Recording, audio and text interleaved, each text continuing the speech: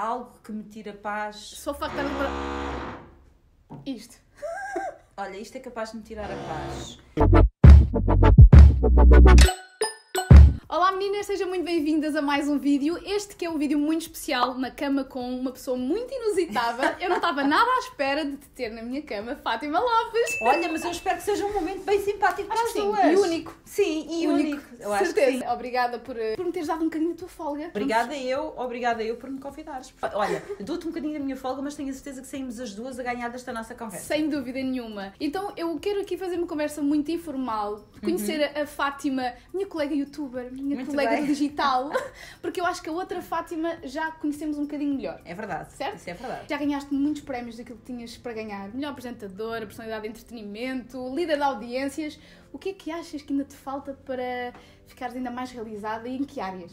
Sabes uma coisa? Eu acho que quando comecei a minha carreira pensava, pensava de vez em quando nesta questão dos prémios e para já deixa-me dar-te os parabéns pelo teu prémio, que foi mais do que merecido. Mas hoje em dia isso já não é uma preocupação, se tu quiseres. Eu já não me movo por causa disso.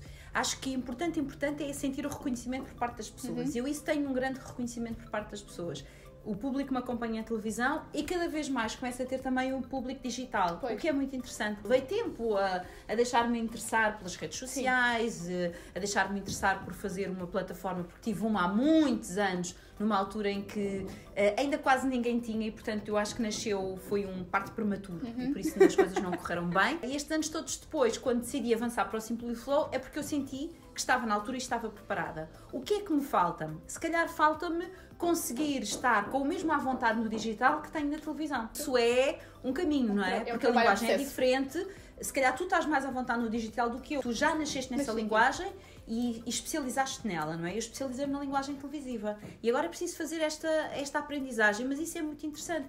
Eu estar aqui sentada é a prova disso. É verdade. É o fascínio que eu tenho e a vontade que eu tenho de aprender. E não, não são, nem todos os teus colegas têm exatamente essa, essa também a maturidade, essa abertura de mente e essa vontade de querer conhecer. Eu acho que também neste momento estamos todos a par desta rivalidade que nos querem pôr, pelo menos entre a televisão, o YouTube e o digital. Qual é, é a tua opinião? Dado que estás nos dois meios e tens essa mente tão aberta e. Eu acho que não devíamos funcionar em uma rivalidade. Uhum. Eu acho que nós podemos funcionar numa complementariedade. E se olhares para os exemplos lá fora, é isso que acontece. Ou seja, tu tens pessoas que começaram no digital e saltaram para a televisão, e tens pessoas da televisão que depois finalmente se deixaram seduzir pelo digital, que é o Exatamente. contrário. E portanto, nós podemos funcionar de uma forma complementar. Além de que, com toda a humildade, eu acho que vocês, e aqui eu vou-te pôr num patamar diferente, porque efetivamente no digital tu estás à minha frente, sem dúvida nenhuma, e sabes mais disto do que eu. Ah, no digital, eh, nós, eh, vocês têm ainda muito para nos ensinar. E é engraçado porque o próprio digital pode ajudar-nos a revitalizar a linguagem televisiva.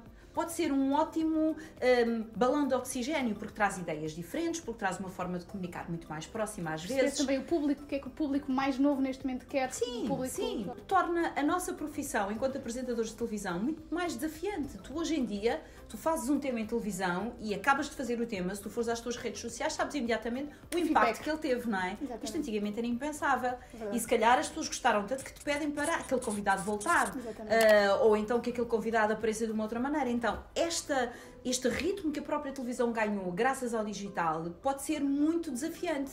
E eu estou nessa fase. Estou nessa fase de me deixar levar por. Eu acho que a vida é assim mesmo, sabes? A vida um é longo caminho também no digital. Exatamente. Por falar em Simpliflow. Sim, opa. Simpliflow. Por falar em Simpliflow. Calma lá, não está a fluir. Por falar em Simpliflow, o teu blog surge como e com que intuito? O que é que ele vem completar na tua vida? Sabes uma coisa, Helena? Eh, Eu, eu tenho um fascínio pela, de tudo que são áreas de saúde e bem-estar. Mas Uhum. desde sempre. É uma coisa já minha. Nota-se por fora, sabes? Ah, pois, eu sou uma rapariga É com quase consequência. 50 anos, meu Deus. Mas ah, a verdade é que, não sei se pelos anos que fiz desporto de competição, fiquei sempre uma pessoa muito ligada, quer à parte desportiva, quer à parte da alimentação, porque ah, efetivamente é uma coisa que faz parte. Eu não, eu não tenho que forçar isso. Uhum. Eu sou assim. Eu tenho um estilo de vida saudável, mas porque eu É um sou assim. Eu não conheço outra forma de viver, entendes? É meu, é, é meu. E o que eu noto é que com o passar dos anos, cada vez mais as pessoas me perguntavam o que é que eu fazia. Ah, mas a Fátima está sempre tão bem, e a dar de passo, e não sei o quê, e o que é que a Fátima faz? E eu vou partilhando, mas ia partilhando assim. Por outro lado, como os programas que eu apresento têm muitos temas de saúde, desde há muito, eu fui-me fascinando cada vez mais por esta parte da saúde e fui ganhando conhecimento. O que é que eu notava? Uh, e, e, aí, atenção, estamos numa fase agora uh, até um bocadinho periclitante. Fui notando que Tu nas medicinas convencionais tens muita coisa que é importantíssima para a nossa saúde, mas tu nas medicinas complementares também tens. E portanto, o perfeito e o melhor de dois mundos, elas funcionarem de forma conjunta, porque os maiores beneficiados seremos nós, uhum. sem dúvida nenhuma como aliás acontece nos países mais civilizados. Elas andam a par e passo. Não Por exemplo, os grandes atletas americanos não vivem sem o seu médico, mas também não vivem sem o seu quiroprata. E hum, achei que tinha que haver uma plataforma que integrasse tudo. E é isso que tu tens. Tu na plataforma tens as especialidades todas da medicina convencional, mas também tens as das medicinas complementares. E falas muito também da parte da mente sã, da Sim. parte que nos faz mais feliz, não é? Tens muito esta parte do work-life balance e a parte de, um, espiritual. Uh, e isso tem muito a ver comigo. Eu faço retiros espirituais há qualquer coisa como 23 anos, agora fazendo quase não se ouvia rápido, falar disso. Quase não se ouvia falar disso, quase não tinhas nada em Portugal. E, e portanto faço e pratico e estou sempre a dizer às pessoas para aprenderem reiki, para fazerem meditação, para fazerem as suas caminhadas, para praticarem yoga. Este é o meu estilo de vida e eu dou-me bem com ele e gosto de partilhar isto com as pessoas. Portanto, eu acho que estou a dar a oportunidade às pessoas de, fazer, de segurarem a sua saúde nas mãos, sabes? Porque nós não podemos entregar nas mãos dos outros o nosso bem mais precioso, Verdade. que é o nosso bem-estar e a nossa saúde. Verdade. Assim vais partilhando todo o teu conhecimento com, uhum. com toda a gente que te segue. É? Sim, é? é isso que eu vou fazendo. Eu noto que és uma pessoa saudável fisicamente por tudo o que me estás a dizer, mas vejo muito também a tua parte, e vejo de uma forma muito positiva a tua parte mental. Nota-se que és uma pessoa feliz, isso transparece.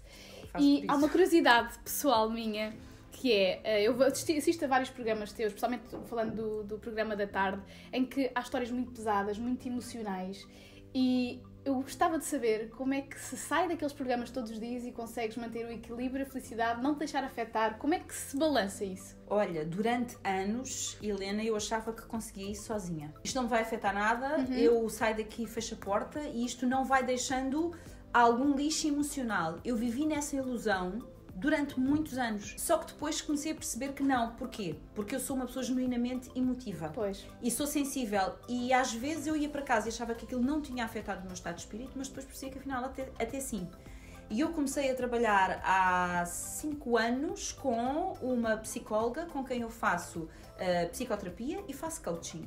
E com ela eu trabalho as ferramentas todas que me ajudam a reposicionar as coisas de maneira a que eu seja capaz de ouvir e não me deixar contaminar. Isto faz com que eu não perca a minha sensibilidade, que eu quero continuar claro. a ser a mesma Fátima, porque eu gosto desta Fátima, não a quero, claro. não a quero perder, mas também não quero perder o meu brilho e a minha alegria de viver por causa da vida dos outros. Tens que ter a humildade de reconhecer que precisas de ajuda. E eu sou uma pessoa extremamente humilde. Para quase 5 anos que todas as quartas-feiras eu tenho a minha sessão de coaching ou psicoterapia, conforme que eu estiver Sim. a precisar e vou ir, ir buscando as minhas ferramentas. E depois faço os meus retiros. E os meus retiros é assim, imagina, dois dias e meio em que tu vais cá dentro, limpas o que há a limpar, arrumas, cresces, choras, gritas, o que for preciso. Sais lá. Espetacular. Olha, eu sei que também tens uma costela, uma ou duas ou três costelas de ambientalista, não é? Se calhar tenho aqui és toda esta zona de costelas, sim. E eu gostava que nos desses algumas dicas, ou pelo menos duas ou três coisas ou mais, que tu gostasses que toda a gente pusesse em prática. A primeira. Sim. E isto é uma, é uma, é uma coisa que supostamente já toda a gente devia fazer. Plásticos? Uh, já lá vamos. uh, que toda a gente devia fazer, mas ainda nem toda a gente o faz. A separação do lixo. Não serve. É tão simples. Houve, mas ainda não acontece, Helena. Até os hipermercados já têm zonas de recolha de. Específico quando eu digo separação, é separação efetiva de tudo. Não é assim tão complicado como as pessoas pensam. Acho que é automatizar o processo. E, é, exatamente. E é ótimo quem tem filhos, porque os miúdos normalmente aprendem mais depressa do que nós e são ótimos polícias nisso. Portanto, ponham lá os, os miúdos a ajudar nisto e, e vão ver que. Sim, lá em casa eu sou uma chata com as questões ambientais. Primeiro aspecto Sim, o plástico, por favor, o menos possível o plástico, desde as garrafas recicláveis a tudo aquilo que puder que ser reciclável, façam-no, por favor. Não deitem fora os frascos de vidros, utilizem-nos para, para, guardar as coisas para que não tenham precisar tantos plásticos e por aí dentro. Portanto, um bocadinho guerra ao plástico, ou um bocadinho não, muita guerra ao plástico, por favor.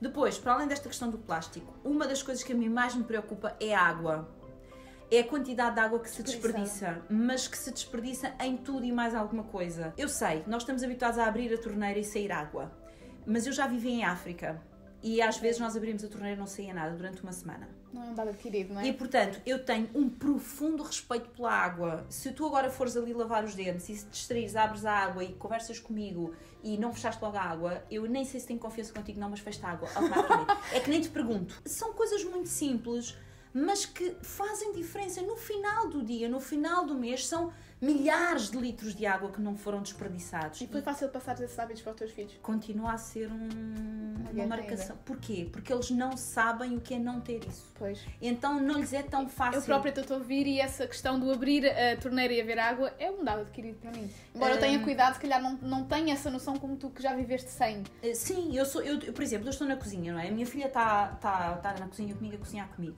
Eh, e ela abre a torneira para lavar qualquer coisa e abre com, com pressão máxima. E eu imediatamente ponho para uma pressão pequenina. E ela, mãe, e eu digo, não precisas dessa pressão toda. Um que, dessa pressão. Uh, não, ela já fase de revirar os olhos, tem 19 anos, ela já não revira os olhos. Uh, sim, mas antigamente dizia tipo, lá vem esta chata com as questões do ambiente.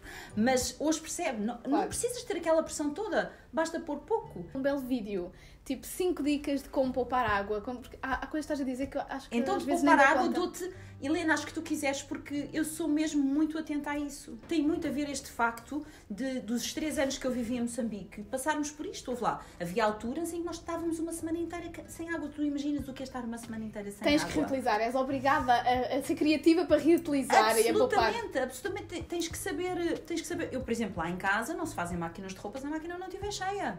Pois. Não fazes, esperas. Graças a Deus temos mais roupa, porque é que vamos fazer meia, meia máquina? É bom falarmos disto porque as pessoas acham muito que isso é um tema de mãe chata que quer poupar dinheiro. Não. E não se trata apenas de dinheiro, trata-se realmente de uma questão ambiental importante uh, e que neste momento o dinheiro nem é o que mais conta. O meu filho estava a dizer: Ah, uh, mamãe, apetece-me tomar banho de imersão. E eu disse-lhe assim: Vai continuar a, a apetecer. Uh, eu disse. mais ou menos. Eu disse-lhe assim: Olha, por acaso a mim também me apetecia, mas não vou tomar. E ele disse: Mas não tomas porquê? E eu disse: Porque uh, este ano, em particular, nós não podemos fazer banho de imersão. Mas este ano em particular, porquê? Já reparaste quantos dias choveram? Ah, mãe, de vez em quando chove. De vez em quando chove não nos vai permitir sobreviver no verão como deve ser. Lembras-te do verão? Lembras-te dos fogos? Então essa água toda vai fazer falta. É um bem precioso. Exatamente. Bora lá poupá-la. É Exatamente. Assim. Fica aqui a dica. Hashtag bora lá poupá-la.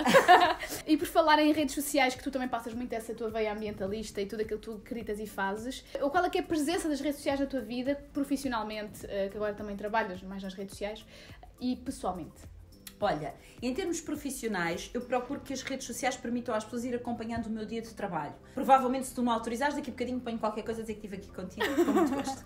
E, portanto, as pessoas gostam de saber aquilo que eu vou fazendo em termos profissionais eh, e normalmente é através das redes sociais que eu lhes dou em primeira mão a notícia de que vou fazer este ou aquele projeto e as pessoas gostam. E depois, em termos pessoais, as pessoas gostam muito, e tu sabes disso, têm Agora. imensa curiosidade à volta da nossa vida. Querem acompanhar um bocadinho mais quem é que Está nós somos para além da, do lado público das nossas vidas. E, portanto, o que é que acontece? Eu procuro também uh, partilhar um pouco da, da minha vida, sei lá. Às vezes até partilho mais coisas ao fim de semana, porque é onde eu faço coisas que as pessoas, se calhar, não estão à espera. Eu, por exemplo, cozinho, não é? E cozinho todos os dias. Vou, se vou para a cozinha e faço uma comida qualquer, uh, partilho com as pessoas, ou às vezes vezes, se vou às compras, também gosto de partilhar. Um lado real. O lado real, porque eu tenho uma vida normalíssima, igual a qualquer pessoa. A qualquer pessoa. Lá eu tenho dois filhos, tenho, vivo sozinha com eles, portanto tenho uma casa para cuidar, tenho refeições para pensar, tenho almoços do pessoal para pensar, eles e meus, porque é tudo claro. gente marmitas. Exatamente. A vida de uma mãe, de uma mulher igual a tantas outras. Tu achas que isso te veio ajudar agora também, enquanto figura pública, as redes sociais vieram ajudar para que a verdade seja dita por ti, ou para que nada fuja ao teu controlo, ou para que te conheçam da forma que tu controlas, da forma que tu queres? Eu acho que sim, é assim, as redes sociais só são uma coisa negativa se não for dado um uso correto delas. Para mim, o único lado negativo das redes sociais é quando há pessoas que fazem das redes sociais uma forma de destilar veneno. É assim, eu tenho ajuda nas redes, como provavelmente tu também terás. Uh, e quando eu sei que os comentários são feitos apenas por pura maldade, obviamente que eu não os posso valorizar. Sim. Eu estou muitíssimo resolvida comigo. É que, sabes, aquele ditado popular diz: as pessoas só veem o que eu tenho, não veem o que eu faço, não é? Para lá chegar. E é um bocadinho por aí, porque eu também faço muito para, para, para, para procurar o equilíbrio. E isto não quer dizer que estamos sempre equilibrados, porque isso não existe. Isso também não quer dizer que estamos sempre felizes, porque isso também não existe. Não existe. Aquelas pessoas dizem, eu sou feliz para sempre. Sim, nos livros da Disney. Exatamente. Yeah. então agora vou-te fazer perguntas mais rápidas. Algo que ainda te consiga tirar a paz. Que me tira paz. Uh, algo que me tira paz. Só o facto de estar Isto. Olha, isto é capaz de me tirar a paz. Não, espera, deixa-me pensar. Só o facto de estás a demorar a responder já é bom, porque não é nada óbvio alguma coisa que lhe tira a paz. Uh, eu estou muito contente de estar a levar muito tempo a responder. Eu é também. Sinal, tô, é sinal de que eu cresci muito. Mas espera, uma coisa que me tira paz, trabalhar com pessoas com as quais eu não sei com contar. Tu nunca sabes exatamente o que aquela pessoa vai fazer e, portanto, não, não, não nos deixa muito tranquilos, sabes? É do género e amanhã, quando ela chegar, uh, como é que esta pessoa é que se vai comportar? Sim, e isso a mim destabiliza-me um bocadinho. E como é que tu fazes com pessoas, uh, acontece muitas vezes pessoas assim com humor inconstante ou uma personalidade inconstante que num dia falam, outro dia já passaram para mim já não falam. Como é que tu reages ao terceiro dia? Uh, eu falo sempre. A minha filha no, outro dia diz-me assim: Mãe, tu tens uma obstinação por tentar fazer pessoas que são uh, antipáticas em, uh, simpáticas. Tu ainda ficas mais simpática. Exatamente. Passo para uma pessoa, por exemplo, e digo boa tarde, a pessoa não me responde. No dia a seguir eu passo outra vez e digo boa tarde, e a pessoa não me responde. E eu continuo a fazer boa. E aquelas pessoas que passam por ti fazem que tu és transparente. Sim, uh, ou sim. seja, tentam de maneira, todas as maneiras que não se cruzem os olhares para não ter que cumprimentar. É exatamente a pessoa que eu digo olá, está boa, tudo bem. À primeira, à segunda, à terceira, até que eu acho que acabo por desmontar a pessoa e ela não fala a ninguém, mas a mim fala. E a minha filha, isto aconteceu com uma pessoa que nós conhecemos, e diz a minha filha assim: sim, fala, mas continua a falar só, só a ti, não fala mais a ninguém. é o que se chama kill them with kindness, não é? Exatamente, Acho é que é um o melhor. por aí. Um prato de comida que te faça feliz. Ai, tanto, eu adoro comer, Helena. Adoro comer. Como eu te entendo. Adoro- Um prato que me faça feliz, imensos pratos que me fazem feliz. Nos últimos tempos ando com uma pancada por feijoadas, achas normal? Jura? Juro-te. É-me feijoada. Estás a lembrar o eu. meu avô? O meu avô é cozinheiro e ele era polícia cozinheiro e o prato que eu me lembro sempre é feijoada, portanto... Eu feijoada, e eu agora quando estive eh, em Espanha, que passei lá grandes temporadas, sempre que o pessoal dizia tenho saudades da comida portuguesa, e eu virava-me e dizia feijoada, sempre feijoada, ando com esta coisa de feijoada, gosto muito, muito. Onde é que vai todos os hidratos dos feijões? Para onde? O que é que Olha, não sei, deve ser da ruindade, porque eu como na mesma. Como é que é para ti um fim de semana perfeito? Um fim de semana perfeito é ter os meus dois filhos, eh, ir passear, poder, olha, podermos ir à praia, mesmo no inverno, gostamos imenso, e levar o cão. O e brownie. então, sim, o brownie. Se vamos os, os, os três à praia, mais o brownie, lançar bolas ao brownie, apanhar um bocado de ar da praia, rebolar na areia, eu digo Isso que é um dia perfeito, sim, perfeito. Maquilhagem ou sem maquilhagem? Como é que preferes? A maquilhagem para ti é uma obrigação para o trabalho ou é também um prazer? É uma obrigação. Eu, se pudesse, andava sempre de cara lavada. E podes. Eh, não, Não mas tu está estás-me a ver maquilhada. Eu já te vi também que costumas pôr fotos sem maquilhagem. Isso também Pois é um ponho vezes, grande ato de estar estar bem resolvido. Coragem, sim. Não, coragem! É de Coragem, coragem. Eu acho que é de coragem. A partir de uma certa idade, eu acho que é um bocado de coragem. Ou então é inconsciência, não faço Não, ideia. também, eu acho que, é, acho que é tudo junto, acho que é um ato de estás bem resolvida completamente. Mas eu, se pudesse, era sem maquilhagem. Sem maquilhagem. Sim. Para terminar, uma coisa que seja feia, mas que tu aches bonita. Em geral, toda a gente acha feio. Pode ser desde uma palavra, uma pessoa, uma característica, uma ação. Olha, hum, não te sei responder a isso.